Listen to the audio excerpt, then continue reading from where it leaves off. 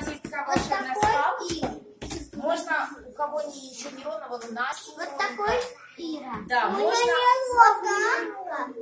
чуть-чуть прокатать, чтобы получился ровненький блинчик. У меня. И у меня. И у меня. И у меня. Так,